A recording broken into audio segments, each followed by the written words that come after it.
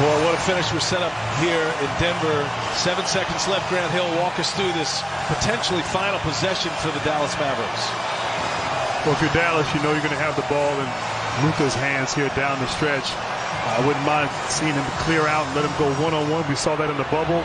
If you're Denver, screen and roll, you might want to double and blitz it, get the ball out of his hands.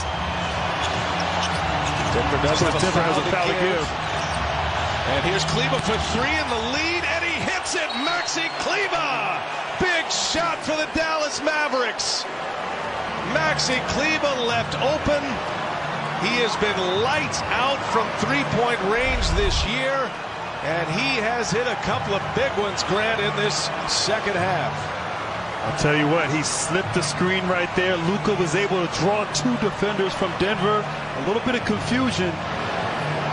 And you said it best. He's been hot here in the second half, and Kleber knocks down a potential game winner. And Luka celebrating, showing some passion and emotion as Dallas knows this was a fantastic play and potentially a game-winning shot for the Mavericks.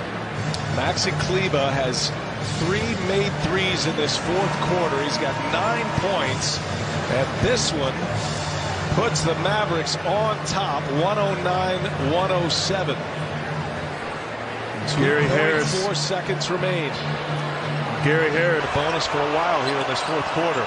Each team with one timeout left. Chance at the last shot. Jokic a chance to tie it. Oh! Jokic hits it! And we are oh. headed for overtime as Nikola Jokic buries a long two to tie it at the end of regulation.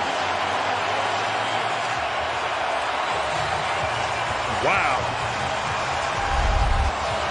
And just a simple play to get him in isolation. And Jokic step back, drains the shot as the buzzer sounds. And Willie Cauley-Stein, you have to give him space because Jokic is so good at drawing fouls.